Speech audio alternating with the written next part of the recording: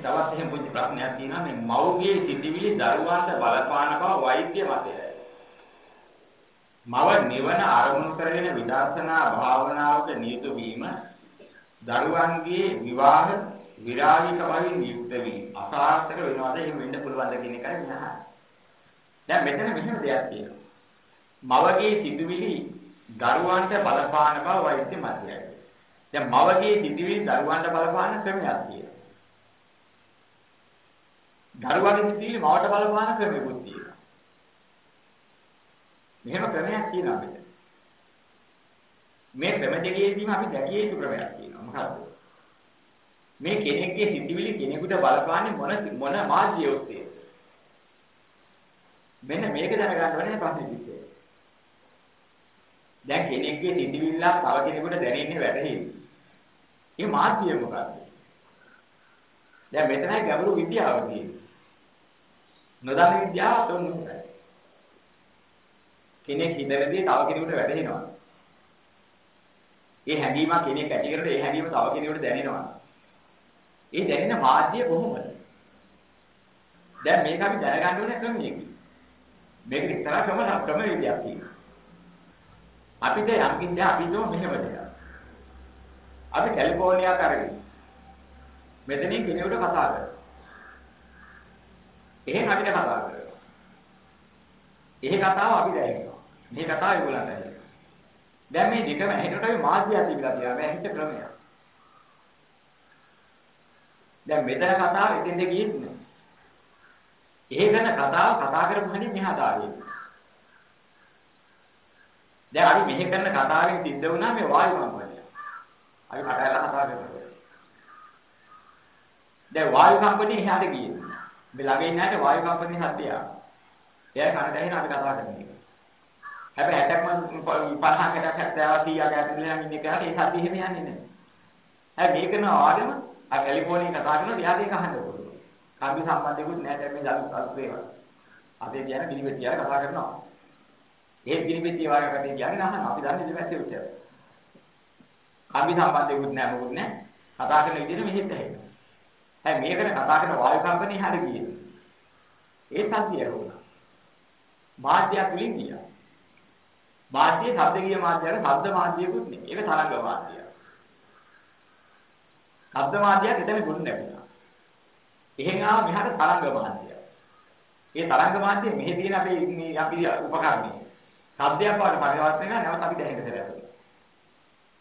දැන් හොඳට පැහැදිලි ක්‍රම ටික අපේ විද්‍යාව බොහොම වැදගත් මේක විග්‍රහ කරන්න. ඒක මෙහාට ඇවිලි මේක එහාට ඇවිලි අතරමැද තරංග මාධ්‍ය අතරින් තියෙන සම්බන්ධතාවය. ශබ්ද මාධ්‍යයක් නෙමෙයි.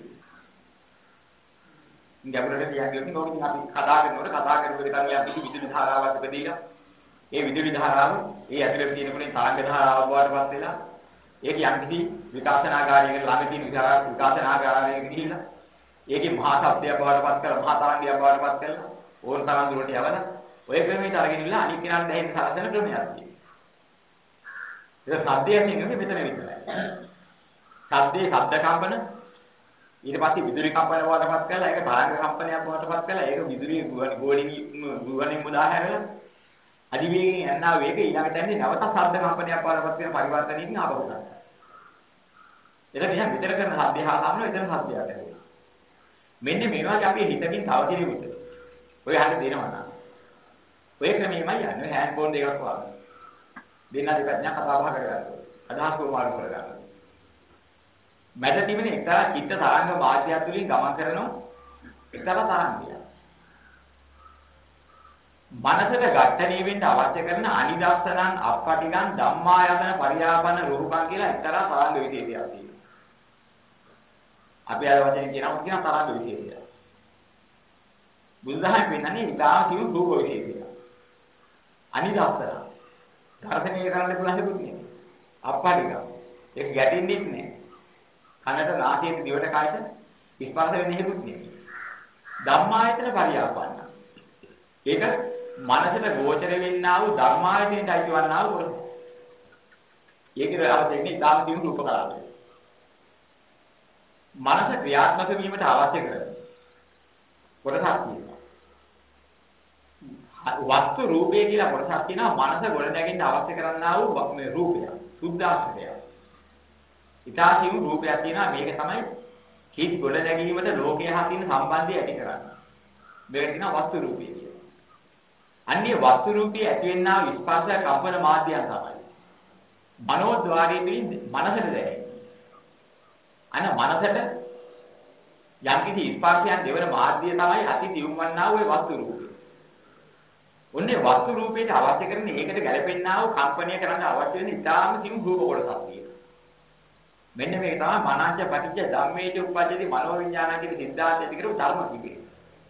මනසට ධර්මයක් ගන්නණය කරලා ඒකෙන් දෙනවා මනෝවිඤ්ඤාණය පොළනවා. අපි සිතිවිල්ලක් ඇති කරනකොට සිතිවිල්ලෙන් කෙනෙකුට සම්බන්ධ වෙන්නේ. ඒ සිතිවිල්ල නිසා ගොඩ නැගෙන්නේ. අන්න අර කියන අනිදස්සනං අපපටිකං ධම්මායන පරියාපන්න රූපං කියන තරංග විශේෂයෙන් නිෂ්පාදනය වෙනවා. අන්නේ තරංග විශේෂයේ අනිබුද්ධිලයාගේ වස්තු රූපේට වදිනවා.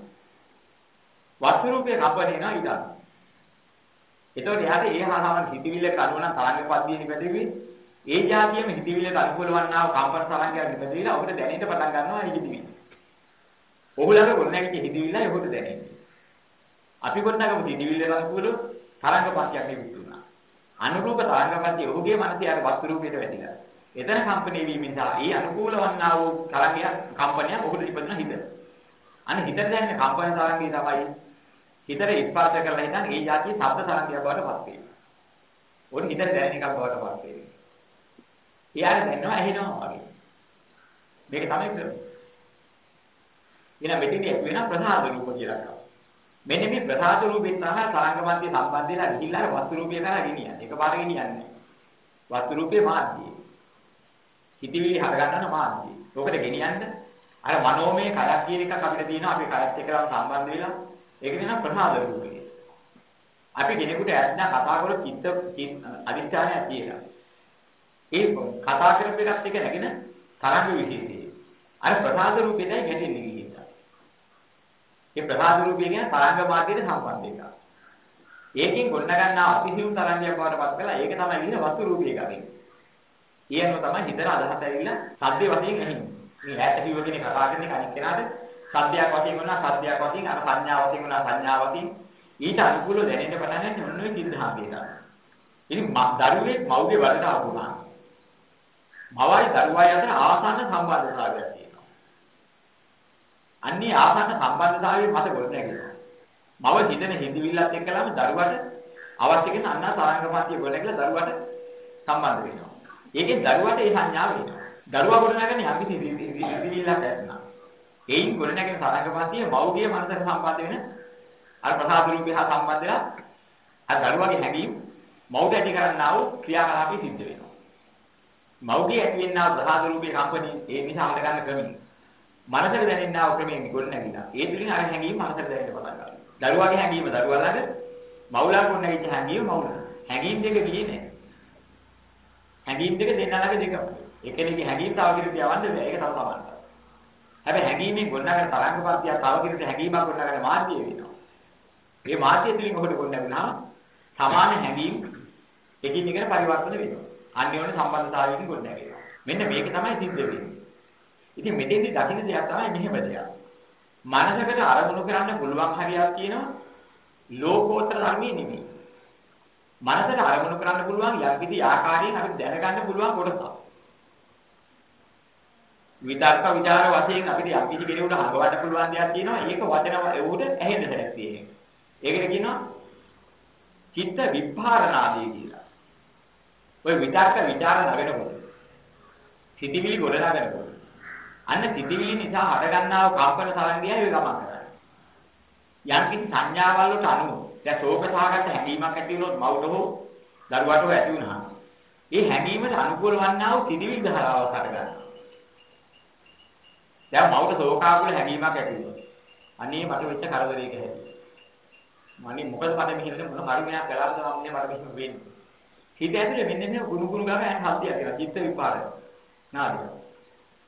අපි හිත ඇතුලේ භාෂාවෙන් කතා කරනවා අපිත් එක්කලා. ඇයි අනේ මට මෙහෙම වුනේ? අපි දෙංගල් නම් අපේ භාෂාවෙන් අපි ඉතින් කතා කරනවා. මොකක් නිසාද එහෙම කරන්නේ? අර අපි වේදනා සහගත නැත්නම් ශෝක සාගත මොනවා හෝ මානසිකත්වයක් ඇති වුණා. ඊට අනුකූල සිතිවිලි. මෙන්න මේ සිතිවිලි වල තමයි තරංගේ නගන්නේ. දැන් ආර්ය මෞකිනේ මාර්ගඵලලාභී මෞකිනේ සිටියෝ. ඔය ඒ කියන්නේ හැඟීම්, ඒ යථාභෝධිය කියන්නේ සිතිවිලි නෙමෙයි. සිතිවිලි වෙනයි. යථාභෝධිය වෙනයි. යථාභෝධිය දෙවියන් අල්ලන්නවා. බ්‍රහ්මයන් දකින්නවා. ආර්ය මාර්ගය අනුගමනය කරන කෙනාට ලැබෙනවා ආර්ය ධානය. ඔය ආර්ය ධානය ලැබෙනකොට ඉන්ද්‍ර වරුණ ප්‍රජාපති ආදී දේවතාවෝ ඒ බඳු වන්නා විසුණු වහන්සේලා දැකලා යොමු කරගෙන වරා ඉන්නවා මොකද්ද මේ මේ ධානය කොයින්ද කොහොමද ලැබුවේ කියලා. හැබැයි ධානය ලැබිච්ච හැටි දෙවියන්ට පේන්නේ. අර ධානයේ ස්වභාවය ආලෝකය ඔක්කොම පේනවා. ධානය මොකක් ලැබු ක්‍රමයේ පේන්නේ. මොකද වෙන්නේ නැති? අනික් අය නම් මේ ලෞකික දෙයක් අරගෙන ලෞකික දෙයක් විචාර කරමින් විචාර කරමින් තමයි ධානය වඩනගන්නේ. පතවි පතවි පතවි පතවි කියන ඉඳලා හරි. පතවි සංඥාව හිතට ගන්නවා. ඒ සංඥා අර කියන ශබ්ද විස්තර නාදී අර ශබ්ද කරන විතර්ක නාදී. ඒක ඇහෙනවා දෙවියන්. එයා හැමිලෙම ඉන්නේ පතවි සංඥාව. සංඥාව ගොඩනගන්න ගොඩනගන්න. ගොඩනගන සංඥාව ඇහෙනවා. සංඥාව ගොඩගෙන ඊට අවශ්‍ය වෙනා සංඛාරය ගොඩනගෙන නිසා. ආන් මේ පතවි සංඥාව නිදාරින්නේ. ඒ සංඥාව දැනෙන්නේ අන්නේ ක්‍රමයේ. හැබැයි මාර්ගඵලලාභීන්ගේ සංඥාවට එහෙම එකක් ගොඩනගන්න බෑ මොකද? මේක සංඥා නිරෝධය. අරක සංඥා වර්ධනය. බාහිර ලෝකින්ගේ දැහැන් වල තියෙන සංඥා වර්ධනය. මාර්ගඵලලාභියාගේ හිතේ තියෙන සංඥා නිරෝධය. සංඥා නිරෝධයේ විතර්ක විචාර නෙමෙයි. හැඟීමක් නෙමෙයි. හැඟීම කියන්නේ සංඥා. දැනීම වේදනා. අහංකාර කියන්නේ ඊට අනුකූලව ගොඩනගෙන ඉන්නවා. විඥානය කියන්නේ එතන හිත පිට වඩිනවා. කයත් වගේ හිත පිට වඩිනවා.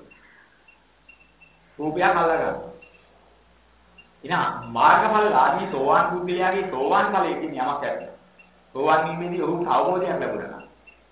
ඒක රූප මතවත්, වේදනා මතවත්, සංඥා මතවත්, සංකාර මතවත්, විඥාන මතවත් ගොඩනැගිච්ච නෙමෙයි. රූප නිරෝධයෙන් වේදනා නිරෝධයෙන් සංඥා නිරෝධයෙන් සංකාර නිරෝධයෙන් විඥාන නිරෝධයෙන් ගොඩනැගිච්චේ. ඒ නිසා ඒ ඒ යෝගියාගේ යොමු කළ බලනකොට අර ඉන්ද්‍ර වර්ණ ප්‍රජාපති ආදී දේවතාවන් ඒ සමාධිය තියෙන බව පේනවා මේ සමාධිය ගොඩනැගිච්ච ක්‍රමයේ දාන්න. දුරපත න්‍යාය තියෙනවා.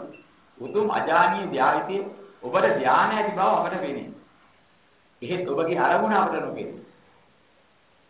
අරමුණ නොපෙනෙන මේ මහා ධානලාභී උත්තමයන් වහන්සේ ඔබ වහන්සේට දුරපතන් කරන අපගේ নমස්කාරී වේවා කියලා නමස්කාර කරලා යනවා. දැන් මොකද වෙන්නේ? එහෙනම් දෙවියන්ටවත් අරමුණු වෙන්නේ නැති එකක් තමයි මාර්ගඵලලාභියාගේ මාර්ගඵල ජීවිතය. මාර්ගඵල ස්වභාවය. ඒසයි යම්කිසි මාර්ගඵලලාභී සෝවාන් වෙලා හිටව මව් කෙනෙක් කියනවා. මවට දරුවෙක් උපදින්න පුළුවන්. හැබැයි මාර්ගඵලලාභී කියන ස්වභාවය අර සිතිවිලි නොවන නිසා මාර්ගඵල ලාභිතිය දරුවට ලැබෙන්නේ නැහැ. දරුවට සංඥා සම්බන්ධ කරන්න බෑ. මාර්ගඵල ලාභී සිද්ධියාගේ මාර්ගඵල ස්වභාවය. අදහස් වශයෙන් මත කරලා තව කෙනෙකුට ඇති කරවන්න බැරි නිසා. බඩේ ඉන්න දරුවා සෝවාන් ඉන්නේ අම්මා සෝවාන් වෙලා හිටියා. සෝවාන් චිත්ත ස්වභාවය දරුවට වෙන්නේ නැහැ. හැබැයි සෝවාන් භවෙන් පහ කරපු නැති යම් කිසි කාමරාගයක් ඇද්ද? පටිගියක් ඇද්ද? රූප රාග අරූප රාග මානෝද්දච්ච අවිද්‍යාවගේ ඉතුරු සංයෝජන ඇත.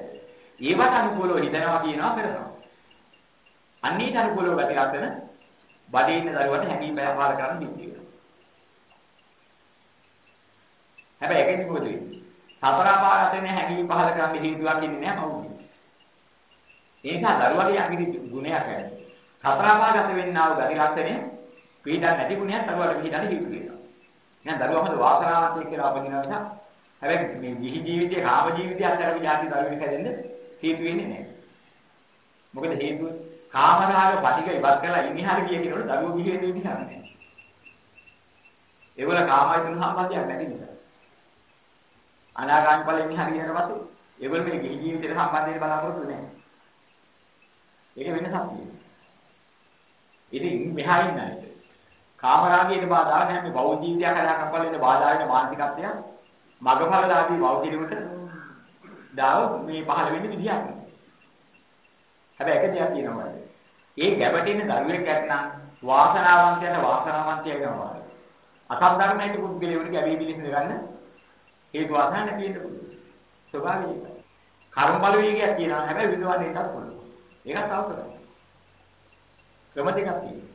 එකක් තමයි මාර්ගඵලදාරී බුද්ධිලයට කර්ම බලවේගයක් පළ දෙන්න ආයි අවස්ථාවක් හම් වෙන්නේ ඉන්නේ හැට වැඩි කාලෙ. දෙන්න දෙන්න තියෙන එකක් තියෙනවා හැකිතරම් ඉක්මන් කරලා ඇදලා එක තමයි ධර්මශාලින් සිද්ධ වෙන්නේ. දැන් මාර්ගඵල ලාභයද බොහෝ වෙන හොඳට වැඩි ඉන්නේ. ඊට පස්සේ අර හදිසිය ඵල දෙක තියෙන කල්පන ආයතන ඒකාශයේ ඵල දීපි යමක් නැත්නම් ඒක කියනවා. ඇවිදලා ඒක ඒකාන්තයෙන්ම ඕක කරා එනවා. ඇවිල්ලා ඵල දෙක සිද්ධ වෙන්න පුළුවන්. ඒ මොනවා කරත් වැඩි කාලේ යාගේ ජීවිතේ තවදුරටත් ගෙනියන්න බැරි නිසා ජීවත් වෙලා ඉන්න කාලේ යම් කිසි පාප කර්ම විපාකයක් ඒකාන්තයේ දීයද දුගුණල් සසර ඉන්නේ පුළුවන්. ඒක ඇදලා සිද්ධ වෙනවා. ඇදලා විඳින්න සිද්ධ වෙනවා. ඉතින් ඒ විතක් නැතුව ඒ දරුවෙකුට මව්ගෙන් මේ විවාහ ජීවිතවල බාධාවක් ඇති වෙන විරාග ජීවිතයේ මානසික අත්යක් ඇති